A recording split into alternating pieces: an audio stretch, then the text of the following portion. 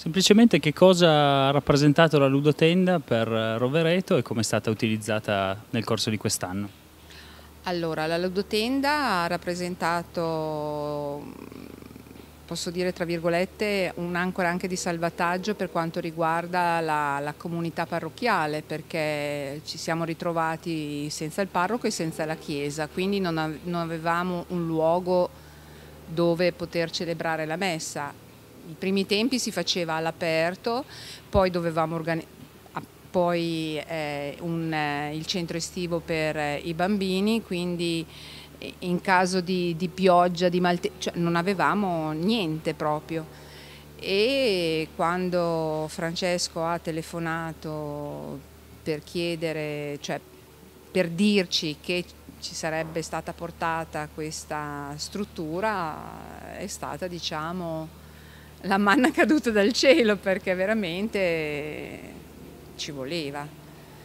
E da allora quando l'hanno è stata adesso non mi viene il vocabolo, è stata portata è stata poi è stata,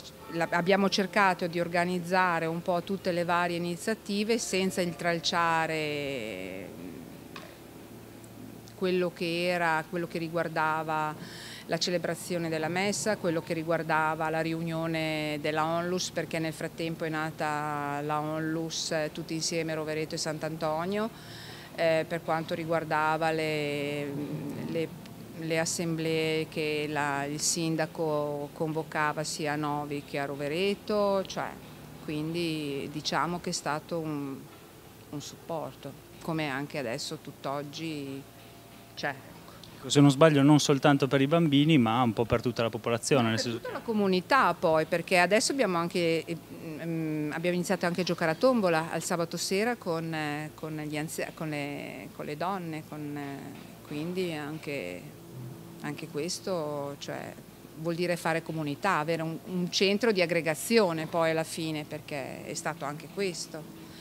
Ieri sera per esempio abbiamo fatto la cena per i volontari che hanno messo posto dove c'era il cinema